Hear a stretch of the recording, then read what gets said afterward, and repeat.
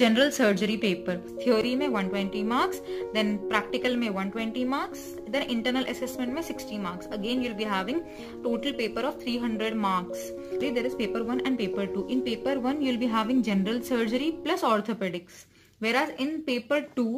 you'll be having all systemic thing